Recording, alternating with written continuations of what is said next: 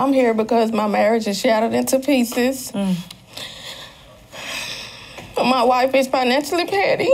She has anger issues, and she's a full blown cheater. That's like the trifecta of problems going on in the relationship. I want her to sign on the dotted line and only focus on co parenting our three year old. So, in other words, you don't think that this can be fixed? No. Well, I'd like to hear from Mrs. Nicole Tucker. Mrs. Tucker, what do you think?